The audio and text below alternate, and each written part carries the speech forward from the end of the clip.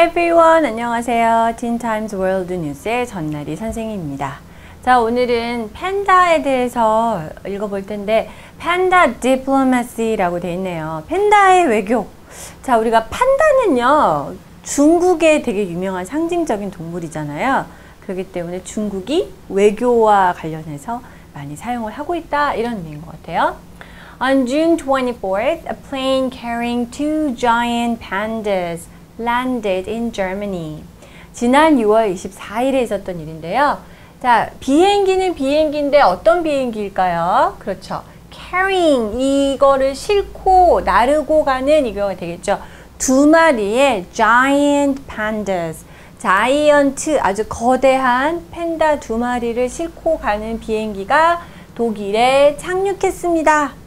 Pandas Mingming, Mingming and Jiaoqing took a 12-hour plane ride from Chengdu, Chengdu to the Schönefeld Airport in Berlin, where they were welcomed by Berlin Mayor uh, Mikhail Mueller, Chinese Ambassador Xi Mingdi, and a swarm of reporters.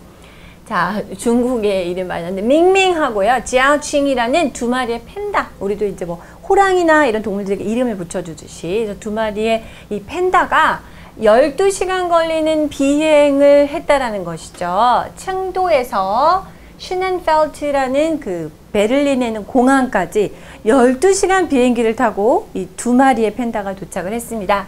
자, 그런데 이 베를린 공항에서는 어떤 일이 있었을까요?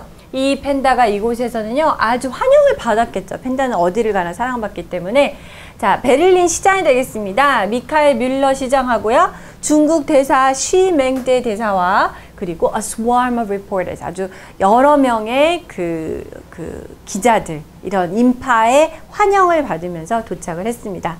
The giant pandas boarded a Lufthansa cargo flight accompanied by staff from the Chengdu research base of giant panda breeding and a senior veterinarian from the Berlin Zoo.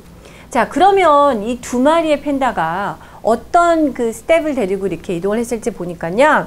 자, 루프트한자 독일 항공이죠. cargo flight 화물선 그 어, 비행기에 탑승을 했습니다. 자, 그런데 당연히 팬다 두 마리만 딱 태워서 보냈을 리는 없잖아요. 파일럿하고.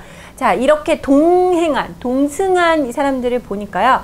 Staff from uh, the Chengdu Research Base of Giant Panda Breeding. 자, 자이언 판다 브리딩의 그 리서치의 그 연구소가 되겠죠. 거기에서 직원이 되겠습니다. 그래서 팬다를 이렇게 어, 번식하는 그렇죠. 그렇게 하는 이제 이쪽에 양육 그 기르는 이 연구소 측하고요. And senior veterinarian from the Berlin Zoo.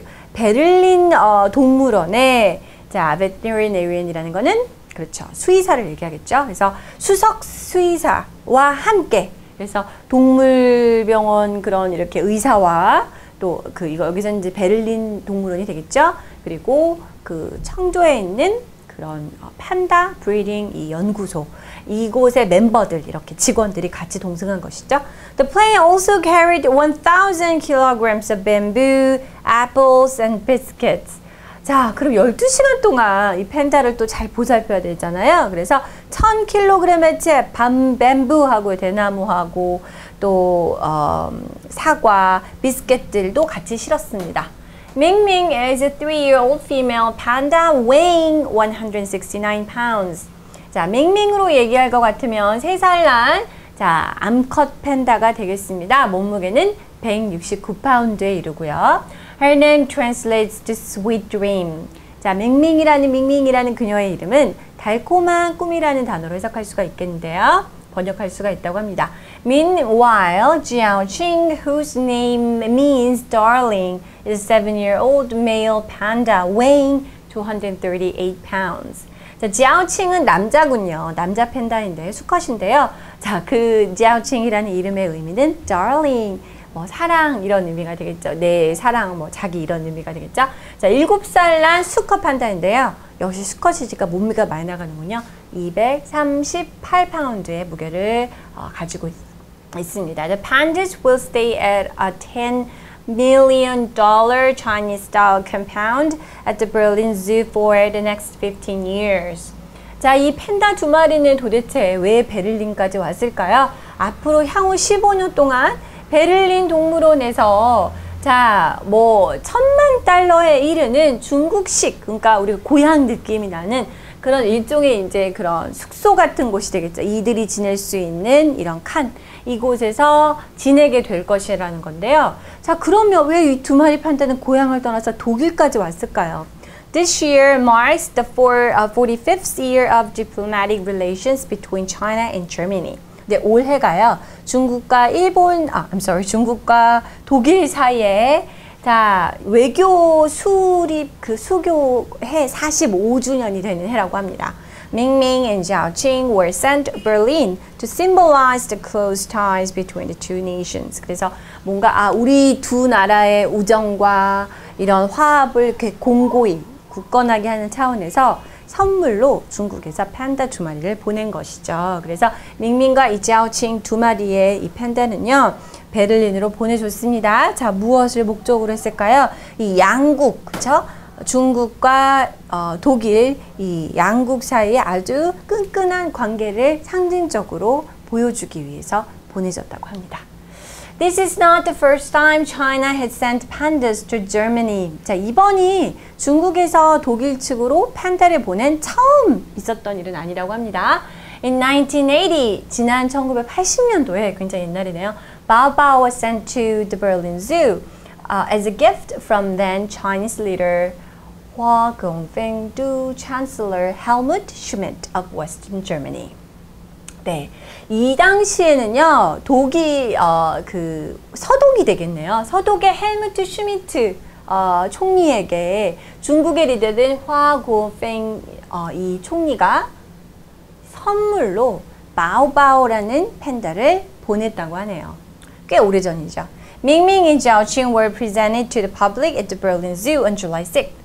자 그리고 나서 7월 6일에 드디어 베를린 그 동물원에서 대중에게 어, 딱 공개가 돼서 밍밍과 쩌칭입니다 from China 이렇게 보여준 것이죠. By German Chancellor Angela Merkel and Chinese President Xi Jinping. 자 지금 중국의 리더인 시진핑과 그죠 독일의 앵겔라 메르켈 총리에 의해서 이렇게 양국의 우호를 다지면서 대중에게 공개를 했다고 합니다.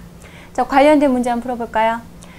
자, 1980년도에 방금 얘기했던 표현이 되겠습니다. Berlin Zoo as a 무엇으로 보냈다 그랬죠? 바오바오 선물로 중국에서 독일로 그때는 West Germany였죠. Number two, the giant panda sported a Lufthansa cargo flight. 우리 비행기 혹은 비행을 얘기할 때 나타나는 표현 flight가 되겠죠. Mingming is a three-year-old female panda. 그렇죠. 우리가 여성, 남성 할 때 그 여성, 그죠? 혹은 암컷 이걸 female이라고 하죠. This year marks the 45th year of diplomatic relations. 자, 외교 관계가 되겠죠. 외교적인, 외교 수립된 그런 서로 그런 관계가 있는 이런 의미가 되겠죠. 중국과 어, 독일의 사이에 그런 외교적인 관계 수립 45주년을 기념하는 해입니다. 라고 해서 marks라는 동사도 쓰였네요. Okay, that is all for today. I'll see you next time. Bye bye.